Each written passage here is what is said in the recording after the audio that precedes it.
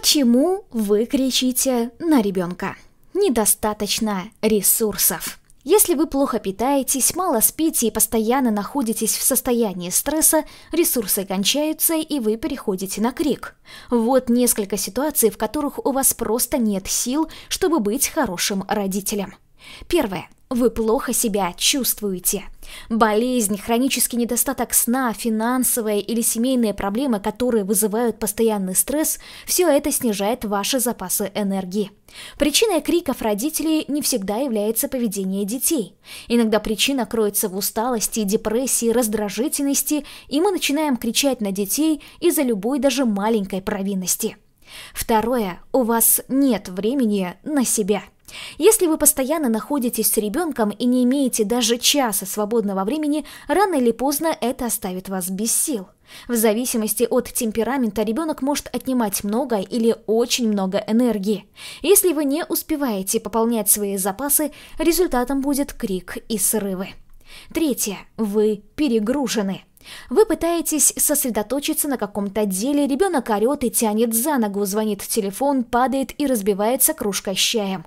Перегруз информации заканчивается криком «Отстань от меня! Помолчи хоть секунду!»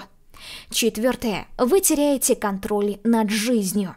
С ребенком трудно строить какие-то планы. Он в любой момент может заболеть, закатить истерику или заупрямиться. Если вы привыкли все контролировать, но с появлением малыша потеряли такую возможность, вас ждет раздражение и крик. Пятое. Вам нужна эмоциональная разрядка. Вы привыкли не выплескивать негатив, а копить его в себе. В итоге эмоции прорываются в самый неожиданный момент. А поскольку вы постоянно рядом со своим ребенком, обрушивается это все на него. Ребенок тут вообще ни при чем, но вы уже себя не контролируете. Несоответствие ожиданий и реальности. Интернет пестрит фотографиями счастливых малышей в чистой одежде и не менее счастливых родителей с улыбками до ушей. Реальное родительство мало напоминает эти картинки.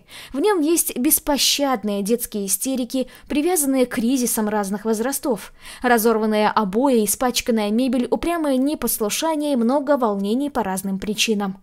Иногда это застает родителей врасплох. Ребенок может много раз повторять то, что ему запретили, чтобы проверить, как отреагируют родители. Он может забыть хорошо усвоенное стихотворение, которое час назад рассказывал с выражением, подраться с другими детьми и нагрубить воспитателю, жадничать, мусорить и совершать много других поступков, которые вроде бы не должен. Как с этим справляться? Найдите время на себя – для профилактики нервных срывов и как следствие криков на детей обязательно нужно выделять себе время для отдыха. Желательно не меньше получаса в день, вне зависимости от погодных условий и желания домочадцев. Поверьте, эти полчаса в день, потраченные на чашку кофе с книгой, спасают вашу нервную систему от истощения. Научитесь выражать свои чувства – этот совет для тех, кто привык терпеть до последнего, а потом взрываться. Поработайте со своими эмоциями, научитесь открыто проявлять их сразу после того, как они возникают. Сильные не жалуются, не плачут и с достоинством умирают от инфаркта в 40 лет. Осознайте себя в момент раздражения. Приучите себя к осознанности в момент раздражения и крика. Когда вы чувствуете, что сейчас сорветесь и накричите на ребенка, остановитесь и постарайтесь понять, почему вы это делаете. Чувствуете, что завелись, выходите из комнаты, примите холодный душ, выпейте чашку чая.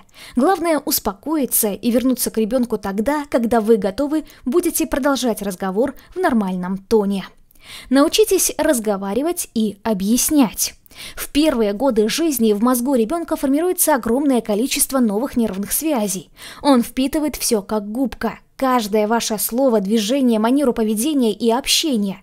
Если вы кричите на него, он тоже будет кричать. На вас, если это разрешено, или на тех, кто слабее. Если вы не объясняете ребенку, почему вы кричите, он может начать брать на себя вину за то, в чем не виноват. Так работает богатое детское воображение в случае нехватки информации. Это опасно для дальнейшей социализации ребенка. Виноватое поведение будет провоцировать других людей на агрессию, начиная с родителей и заканчивая детьми в школе. Признайте, что ваш ребенок не идеален, как и вы – Осознайте, что вы не тот идеальный родитель, который улыбается вам со стоковых фотографий. Вы можете быть уставшим и раздраженным, не всегда контролируете свои реакции, имеете право на ошибку. Единичные случаи крика не сделают из вашего ребенка инвалида и не заставят его посещать психотерапевта до конца своих дней.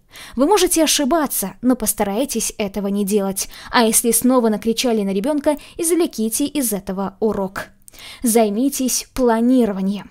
Отметьте моменты, когда вы чаще всего кричите на ребенка. Например, это могут быть утренние сборы в садик, когда он убегает от вас и не хочет одеваться. Или вечер после работы, когда от уставшего взрослого требует игр и развлечений. Посмотрите, что можно с этим сделать. Например, вечером вы можете выкроить час для себя, отдохнуть после работы и набраться сил перед тем, как играть с ребенком. Или разделите это с другим родителем. Два часа играешь ты, два часа я. Если вас раздражает, что он убегает и не хочет одеваться, вы можете спокойно, без криков, собраться и сделать вид, будто уходите без него. Объясните, что у вас нет времени, и вы не намерены терпеть это баловство. Скорее всего, ребенок с воплем побежит за вами, уговаривая взять его с собой и очень быстро оденется. Составьте список своих опасных моментов и напротив каждого пункта набросайте план, как справиться без криков. Даже если ваши способы не сработают, всегда найдутся другие. Нужно только проявить немного терпения и найти подход к своему ребенку. Вот план действий. Первое – подготовка. Пополнение ресурса, отдых, питание, сон, время на себя, выражение своих эмоций, отказ от накопления негатива внутри себя – Второе действие. Осознание до крика или в момент крика. Меры по успокоению. Отстранение от ситуации, чай, душ или умывание, дыхание аффирмации. Анализ ситуации. Что вызвало крик? Виноват ли ребенок? Что вы чувствуете? Объяснение. Разговоры с ребенком о том, что он сделал не так, какие чувства вы испытываете по отношению к нему и почему так делать нельзя. Ответы на все его вопросы относительно этой ситуации. Третье – планирование. Обдумывание своего поведения в ситуациях, которые вызвали крик.